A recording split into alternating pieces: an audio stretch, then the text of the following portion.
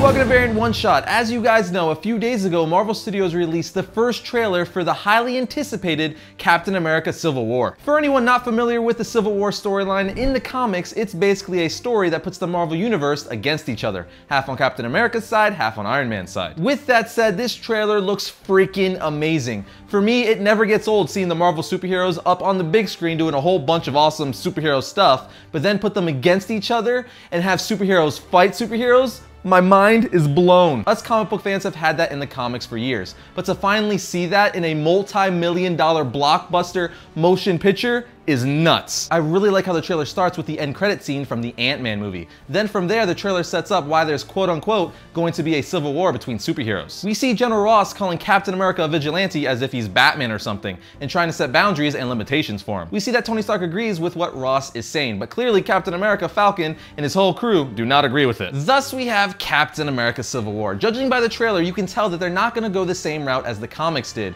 where the reason for there being a civil war is the Registration Act. Half on Iron Man's side, registering their secret identities and making their identities publicly known, and half on Captain America's side, refusing to make their secret identities known. The trailer did a fantastic job of setting up the plot and tone for the movie, and why Iron Man and Captain America are going to be at odds. But that's not the only cool thing about the trailer, my friends. We're just starting this fun train. We didn't see Vision, Ant-Man, or Spider-Man in this trailer, and I didn't expect to see Spider-Man in this trailer so early on, but we did see Black Panther. And I must say, I'm super excited to see Black Panther in action on the big screen, and he looks incredible. But hands down, the coolest part of this trailer, which I think everybody will agree, is when Captain America and Bucky are fighting Iron Man. Captain America is throwing his shield at Iron Man, only for it to bounce off Iron Man's armor, then for Bucky to catch it, only to pass it back to Captain America, while Iron Man is shooting off his repulsor blast. Literally, it's a fanboy's dream. In summary, this movie looks awesome, and I'm totally fine with them not sticking 100% to the Civil War comic. It looks like they found another cool way to put all these superheroes up against each other. And let's be honest, that's the main reason all of us want to see this movie, because it's superheroes